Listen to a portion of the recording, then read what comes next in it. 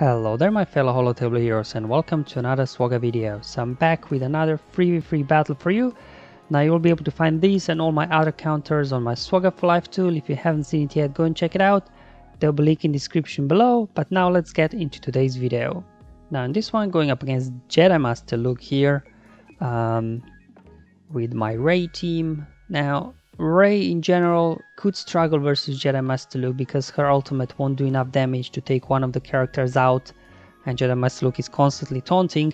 But because my opponent there used uh, Grandmaster Yoda, Yoda is very squishy so I'm hoping that the ultimate there will be able to take uh, take him out. And that's why I'm also bringing here Bastila because she can apply offense up uh, when raised in ultimate and that will boost the damage from ultimate uh, but if the other two characters there next to Master Luke are very tanky and you won't be able to, uh, you know, one-shot them with the ultimate from Rey, then, you know, you could definitely struggle against Master Luke lead there.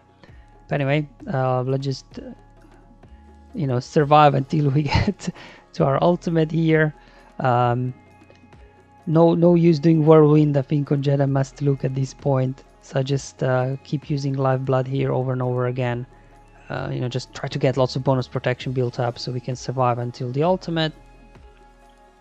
Alright, now Jedi Master Luke there and got the ultimate and that's why maybe my opponent used Grandmaster Yoda because Grandmaster Yoda allows very quickly to get the ultimate for Jedi Master Luke just because he's getting so many turns here. And now here you apply offense up there on uh, Rey and this will boost her damage from her ultimate. So let me show you.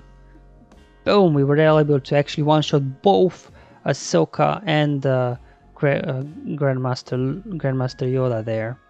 Um, so you know if you do put Jedi Master Luke on defense, lead make sure you put two tankier characters that can tank the ultimate from Rey.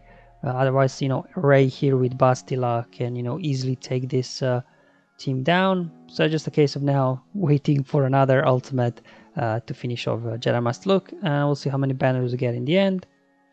Uh, because I've tried this uh, against once, uh, it was Jedi Master Luke lead with uh, Hermit Yoda and Jedi Knight Luke, and those guys were just too tanky, uh, and I was really struggling against that team to win.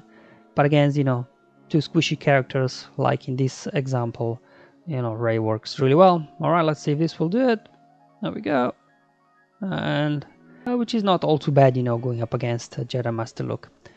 Alright guys, hope you enjoyed this very quick counter video, that you find it useful.